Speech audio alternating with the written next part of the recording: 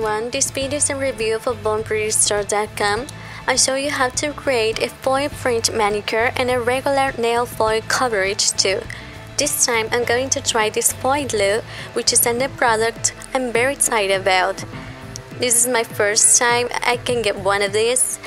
The foil pattern I've chosen is this one.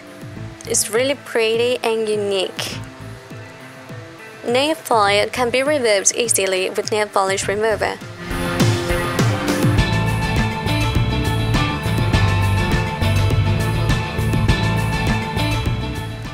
Start with a base coat. Apply foil glue only to the tip of the nail. Let it dry for 5 minutes.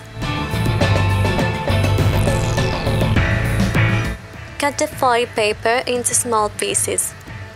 Add the shiny foil side up over the tip. Apply pressure with your fingers or a tool, it's up to you. Then remove it gently. Using black acrylic paint, to create a line as shown.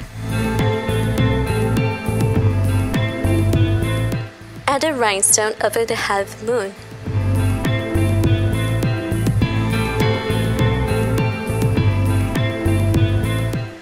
For full coverage, paint the nail black and then apply foil glue.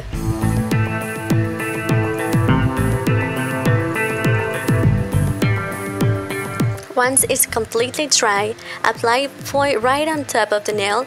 The foil design must be side up. Rub over using your fingers.